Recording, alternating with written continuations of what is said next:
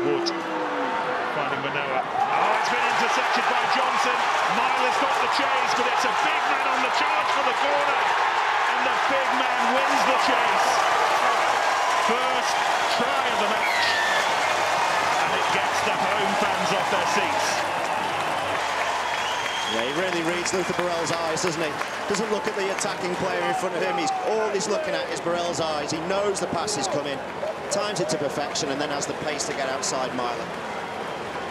You remember his muscular charge and then the deft little chip ahead for Wade's second try at Twickenham last weekend. He's got one of his own now.